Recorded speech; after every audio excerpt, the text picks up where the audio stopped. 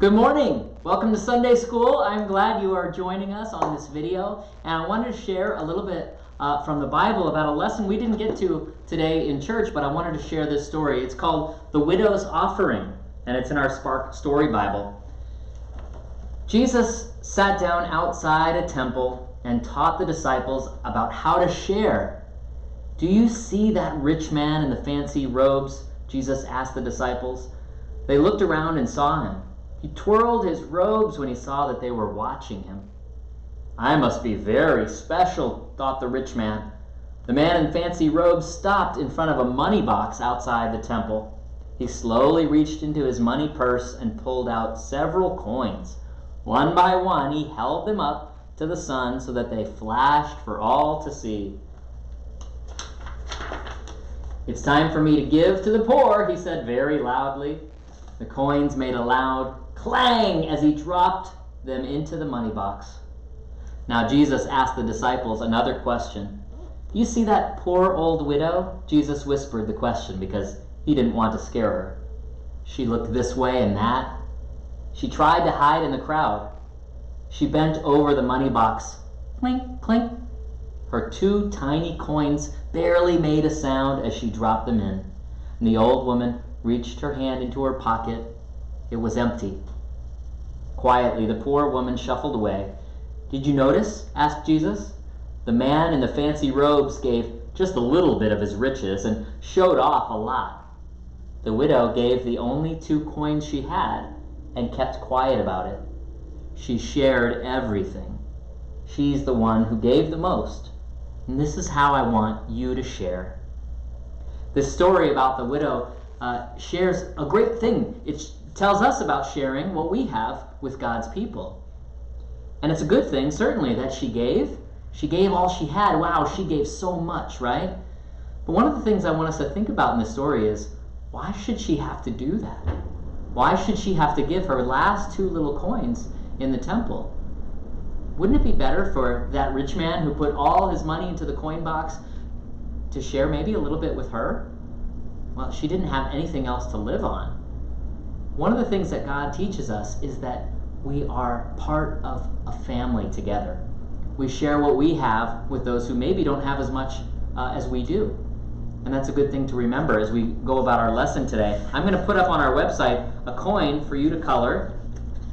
So that will remind you. I've got a coloring page of a coin, and I'll remind you about how we can share what we have with God. And, and God doesn't really want our coins, right?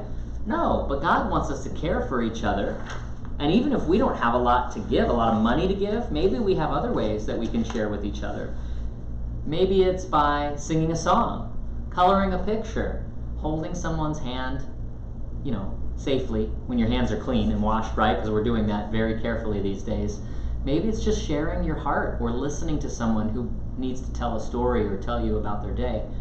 And if it doesn't seem like a lot, we find out it adds up pretty quick. I have this little pig, and uh, it's from our ELCA World Hunger Good Gifts. And uh, I leave this in the office so people have some extra change. They can just drop it into this little box. And I've had it for a while, but man, it's getting pretty heavy now. I think a lot of people have dropped some coins in here, and that eventually, when this thing is totally full, we can use it and send it off to ELCA Good Gifts to buy a pig. Why would we buy a pig? Do we need a pet pig? Is it a pet? Going to live in our bedrooms? No, this pig is for people who can raise that pig for, uh, for a farm to provide food and uh, to serve their village or their family. So, this is an, a way that we can serve people to share a little bit from what we have to make a big difference in someone else's life. I think that's really important, don't you? One of the things we hear about in the story is the temple, and I wanted to share a little bit about what the temple is. According to the Bible, King Solomon built the temple as a replacement of the tabernacle, the place where God was said to be with the people, which was kind of like a tent. But King Solomon said, I'm going to build a big temple for God. King Solomon wanted the temple to be permanent and a central place of worship, kind of like our church, right? And it was built around 950 years before Jesus was born. And it was destroyed just about 400 years after that. when the Babylonians came in, and then it would eventually be rebuilt and destroyed again about 70 years before, uh, 70 years uh, after Jesus was born.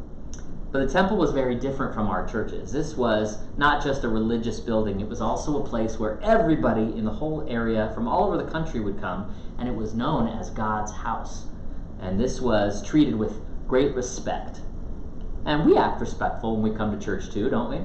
But the temple also served as a financial center. This was where all the money came from all the villages and towns. People brought all their money to the temple. That was their way of worshiping and they gave loans, they changed money out, uh, and it helped in collecting taxes too. So that all this stuff was going on in the temple. And when Jesus came to the temple in Jerusalem, he he said, "This is not what this is supposed to be." He threw over these money changing tables and, and he said, This is not what matters most. What matters most is loving God, and the way we do that is by loving God's people, by loving our neighbors as ourselves.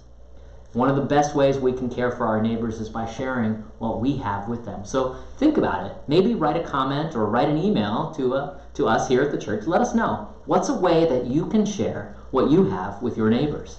Even when you can't maybe physically be together or your school is closed right now, what's a way that you could share something with a neighbor? So I look forward to hearing your responses. And uh, I want to thank you for joining us for this. And uh, we're going to have some activities and coloring pages that we're going to upload on our website so you can join in and continue to learn about sharing with God and God's people. Let's pray.